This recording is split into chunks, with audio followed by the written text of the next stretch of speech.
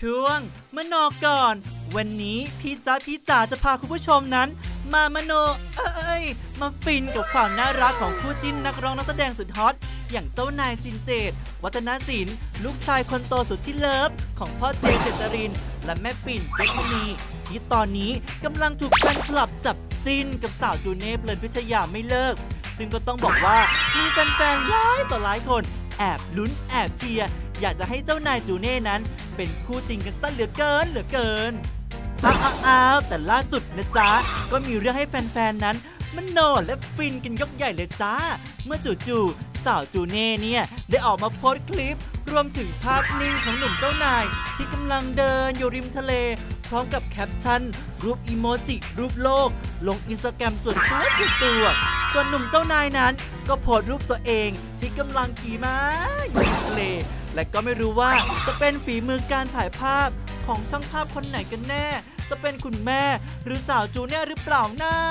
แต่ที่แน่ๆจ้าที่ทำเอาแฟนคลับนั้นคือฮากันยกใหญ่ก็เป็นคอมเมนต์ของแม่ปิ่นนี่แหละจ้าคุณผู้ชม ก็เป็นเพราะว่าเขามาแซวลูกชายตัวเองว่า แฟนถ่ายเออ แฟนถ่ายไปอีก และหลังจากนั้นนะ เกิดอะไรขึ้นรู้ไหม แฟนคลับเนี่ยก็แห่มาคอมเมนต์กันเพียบ บอกว่าทะเลอะก็มีหลายจังหวัดแหละเนาะใครจะบังเอิญไปที่เดียวกัน หรู้ว่าเธอต้องไปกับเขานู้นก็ทะเล นี้ก็ทะเล หลงรักคนมีเจ้าของแอบส่องอยู่ทุกวันเป็นต้นจ้า เรียกว่างานเนี้ยทำเอาแฟนๆ ฟินกันหนักมากจริง ๆ ถึงขั้นว่หนว่าเจ้านายกับจูเน่กำลังคบกันอยู่ เพราะมีกลิ่นความหวาน เหมือนทั้งคู่นั้นจากคู่จิ้นก็กลายเป็นคู่จริง เขาใกล้ทุกทีทุกที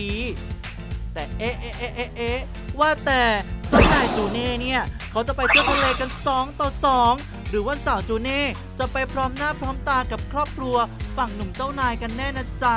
อันนี้ต้องจับตาจับใจลุ้นกันดูต่อไปจ้า แต่ที่รู้ๆจากน้ำทะเลสีฟ้าครามที่ว่าเค็ม กลายเป็นหวานไปซะแล้วจ้า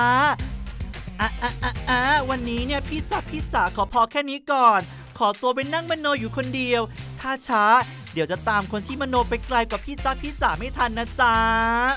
หวานและดูออก